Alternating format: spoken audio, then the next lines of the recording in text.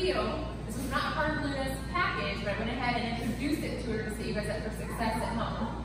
So to start with heel, I always want my dog to be on my left side. I have my treat pouch on my left side, and I have my arm with my loop of the leash on my right wrist, and my left hand holds the leash right here. But I've also got a hold of it in my right hand so I can drop it and give a treat to her whenever I need to. That's it.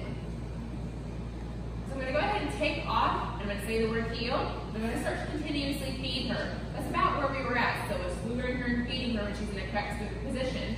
If she comes out of the correct, or if she comes out of the correct position, we're going to go ahead and correct her by saying no, and in correction, reminding her to heel. So we're going to give it a shot. Going to get a treat ready. Luna, heel.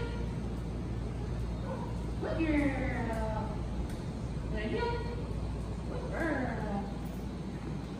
I can change directions. Luna, heel. Good job. Luna, heel. Good girl. Heel. No, heel. Good girl. Oh, good heel.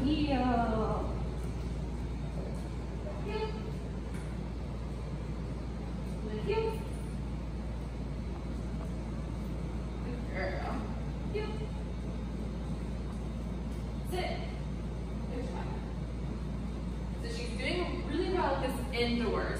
Um, as you saw just now, every time I stop, I want her to sit next to me and wait for permission to do something else.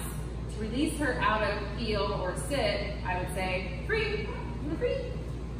Um, so I'm able to do this indoors with her, but I've not practiced outside. Again, it was not a part of her two-week package, uh, but I wanted to set you guys up for success to introduce it to her later at home um, and we'll continue training. She's doing really good at it, and uh, she's going to be great as you guys practice